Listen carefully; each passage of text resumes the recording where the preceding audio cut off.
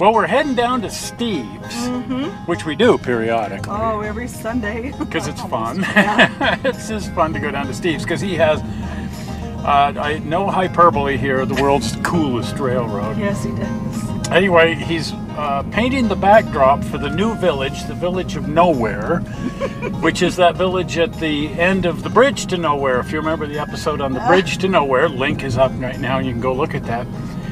But uh, he's almost done with the village of Nowhere, and we will be doing a show on the village of Nowhere when it's completely finished. But this is kind of like a preview of that because it's probably 90% or 95% finished. But he's painting the backdrop today for the village of Nowhere. And what he's doing is he's cheating. He's got a 30 year old backdrop from a previous railroad and he's going to repurpose that. But since we're on this backdrop thing with Robbie Right. and Gil and all of this kind of stuff, we thought we'd show you how Steve paints a backdrop, or in this particular case, how Steve repaints a backdrop. so check this out, it's really cool. So here we have the Bridge to Nowhere Oh my gosh. fun episode, and here is Nowhere, the village of Nowhere.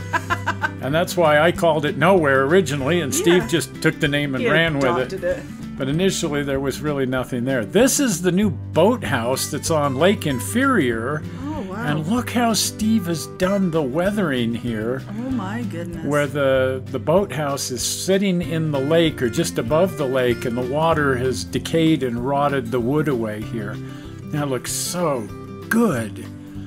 And of course, because it's on Steve's railroad, there's a mine. Yes, of course. And because there's a mine, it has an 18 inch gauge railroad that Uh-huh. runs the mine, so Back in that's there. going in up here. Now, because the village of Nowhere is on Lake Inferior, the 30 inch gauge railroad runs along this pier. wow, look at that. Isn't that neat the way Steve has done that? And all the little buildings are removable. That way, Steve can work on the wiring and the interiors and so on at the bench and then put them back up onto the village after he's worked on them. Now, this is the uh, first iteration of the Lake Inferior Inn.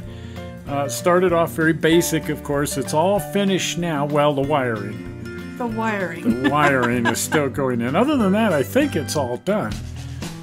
The whole railroad is so amazing, but one of the things that's really cool are Steve's backdrops. no kidding. He's kind of what you would call a classically trained artist. Of course, yes. And, uh, well, he just muddles around with this and, and has a good deal of fun painting all these backdrops behind the scenes, and they just look so cool.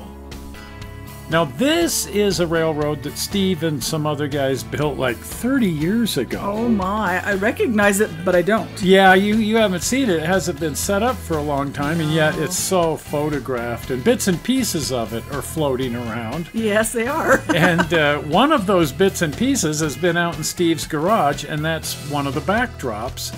That's this backdrop here that covered the center section of the modular railroad. And it's got these buildings on it, and it's very New England. This was a, a two foot gauge O scale railroad. What I'm doing is this was an existing backdrop and I added about 15 inches to this side. There was a black area over there that another building went on top of. This was an old mod, an old backdrop for an old module from 25, 30 years ago. And so I'm recycling the backdrop. I'm going to keep most of the buildings and stuff, but I've painted out some of this area over here and restructuring it into some little more jagged mountains. I'm not quite sure whether I'll go in and do something on these mountains or not. I think I will, but I want to keep the buildings and I like the red in the trees. I'm going to put some more trees in here, but I don't think I'll put any more buildings in here. Uh, when I set it up in place, I'll get a little better idea of where I'm at.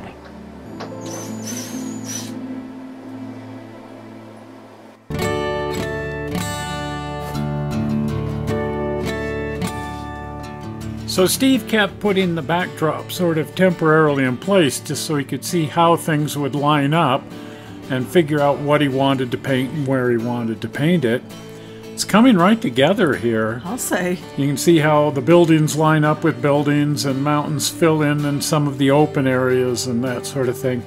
Just amazing. This whole village is about eight feet up in the air. It is. so you've got to climb on a ladder to get up here and see it, but that just makes it so cool that it's up there in the rafters that way with this long bridge going to it. yes. Nothing wrong with that. I mean, No. it's it's the essence of Steve's railroad. I told him that his railroad is like a guy who's built a ship in a bottle, only he's in the bottle with the ship. Yes. And that's really a good That's- description that's a of good Steve's analogy. railroad. You kind of go up ladders and crawl around in there, and everything is just railroad everywhere you go. Right. But uh, you kind of uh, fit yourself in there and crawl around, and you can see the railroad. Underpainting is what I've done here. You're getting the basic shapes in, you're starting to get shadows and highlights. Uh, you're developing some very simple forms to give you a little bit of a roadmap to start to follow. Then as you go in, you start to refine it. And on your backdrop, Robbie was doing the same thing. He got an underpainting going, and then he started to refine it. And that's the way we work, because you feel your way into it. So Robbie told us that he paints dark to light. He puts the dark areas in first, Right. and then details in lighter colors. And Steve does the same thing. But first, the dark colors go over the underpainting, and then the details are added in lighter colors over the mm-hmm. top of that. And this is kind of a classical technique that Right. a lot of artists use. Not everyone, there are no rules, of course. I mostly paint dark to light too. In like pastels and oils and acrylics, you usually go dark to light. In watercolors, it's just the opposite, but we very rarely use watercolors for a backdrop.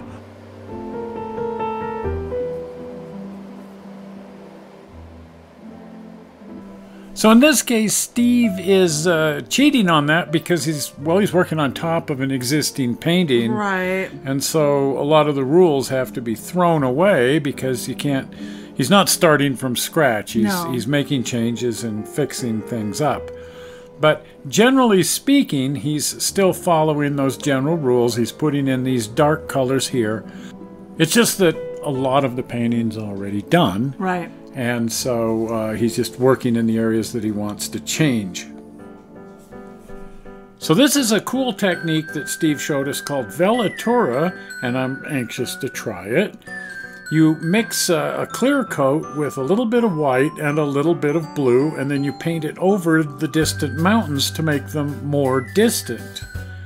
You start off with something like this. This is matte medium that you mix up, and it's just kind of a clear gloss stuff, but you can mix your water based acrylics with it, and he puts just like a drop or two of white and a drop or two of his sky blue in there, and then paints it over the mountain over and over and over again until the mountain tends to disappear back into the background and feel like a much more distant mountain. Nice. And is that cool or what?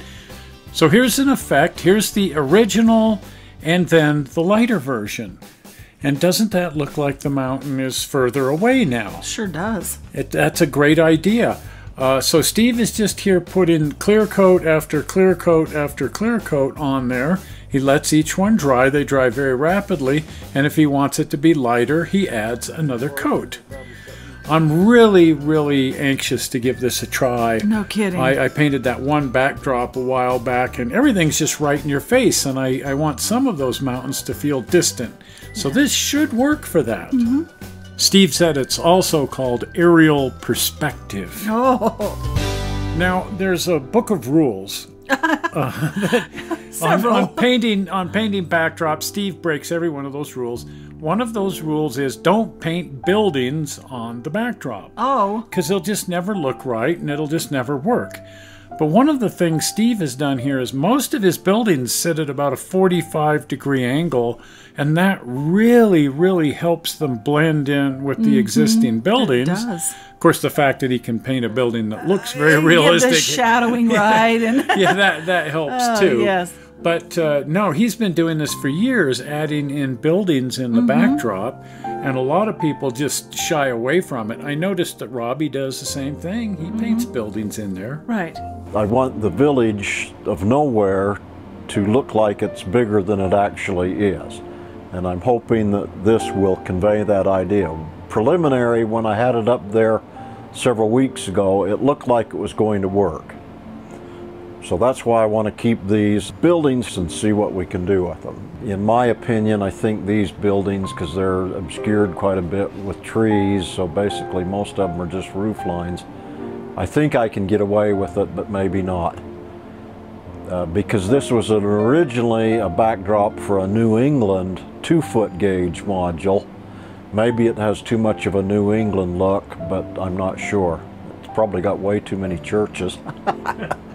Now here, here's another trick that both Steve and Robbie. It's a rule that they break. Yeah. And that's don't put roads on the backdrop that go into the backdrop. Yes. If you look at fine art, 90% of the fine art that incorporates a pathway or a road or something, it's going to have that S shape or a Z shape. It's not going to be just a straight head on line in because it's very hard to make that look as good. Uh, it's more pleasing to the eye to have the curvature, the up and down. It just works better. And we need to, as model railroaders, you know, follow some of those ideas.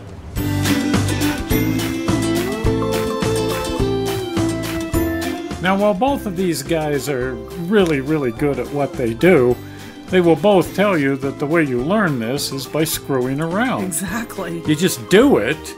Uh, nobody is born knowing how to paint like this.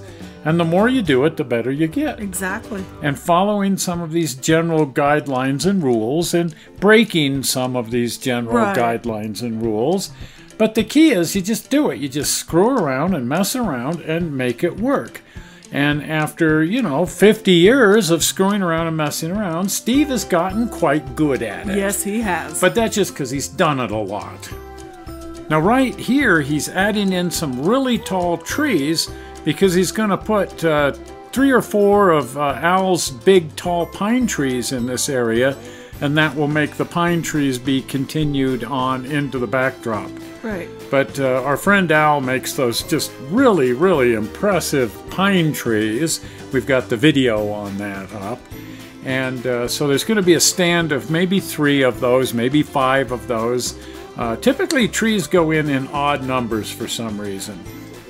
So, just as the buildings form an extension to the modeled buildings, the painted trees will help extend the forest into the backdrop. Well, the village sure looks impressive. Yeah, it does. I, I've seen it morph into something completely different than what I saw the first time. Well, it was really hard to envision what in the world Steve had in mind Exactly. for this thing up in the rafters. Right.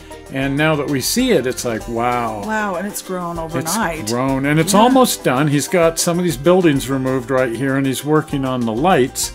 But as soon as the lighting works in these, then they go back up on there. When you're up in the village, you're way up in the air here. Notice we're looking down on upper Pandora, which is about six feet off the floor. and, and Pandora's way down below you down there. And then lower Pandora's about four feet below that. so it's all these fun layers going Yes. down. Not to mention the underground city. And then the underground city. So there's there's a lot going on Yes, here, but what a it. fun, fun railroad. And the Village of Nowhere is a wonderful new addition to this incredible railroad. Wow. It's just it's turning out so cool. I, it might be the coolest place on the whole railroad. Exactly. Uh, hard to say. Everything he does seems to turn out cooler than the thing he did just a little while ago. And the village is almost done now. Yes. And Steve is threatening to move back to the port area. and uh, build the lighthouse that he's been talking about for Oh. about 10 years. Yes, he better name it after me. There you go. Well, lighthouses are your thing. They are. So uh, that'll just be impressive to see what he does for a lighthouse.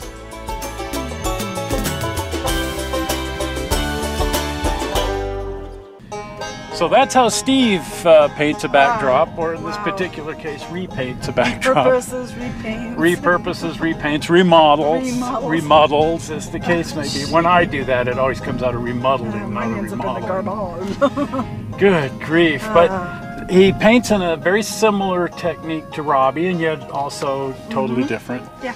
But we've we've gleaned great inspiration from both techniques, and great inspiration just from the village of nowhere. Right. All that remains at this point is hooking up the electrical lights, and you know maybe two or three hundred other little things, just those little details that need to be added in, and then he's going to move on to something other than the village of nowhere. He's threatening to get back to the lighthouse down at the port, which he sort of abandoned uh, a couple years ago. And now he's all excited about doing a lighthouse. So anyway, that'll be that'll be upcoming. But that's uh, that's Steve painting a backdrop. So that was a lot of fun. If you haven't been over to the channel, do pop on over to the channel. And while you're heading over to the channel, you want to subscribe because all Toy Man Television subscribers are cool. this we know because we're, Yeah. we're familiar with all 12,000 of them. Oh, yes. So, uh, at any rate, do subscribe, and that will make you cool. And also, when you see one of these things that you really like, share it with your model Mm-hmm. railroad club, share it with your Facebook friends, share it with your parents, uh, share it with anybody, Fellow artists. fellow artists, whatever. It's just always fun to get stuff out there. The, the, the more it gets out there, the happier we are. See the grin? and of course, a thumbs up is Right. always nice. But the big thing is to remember to subscribe. Yes. And you can do that by clicking on the blue button, provided your device supports the blue button. About half of them don't anymore. It's just the nature of the world. But zoink! You see over here this blue button? It's not my Ford button, but It's not her Ford button. and don't confuse it with the, the, the rocket logo here. It's a blue button. It says subscribe very small. Click on that, takes you to the channel, makes you a subscriber, and therefore makes you cool. Well, we're not sure how you found this movie on the internet. We hope you didn't find it boring. And we will see you here again in a little while with mm-hmm. some more fun and frivolity. See you then. Bye bye. Bye.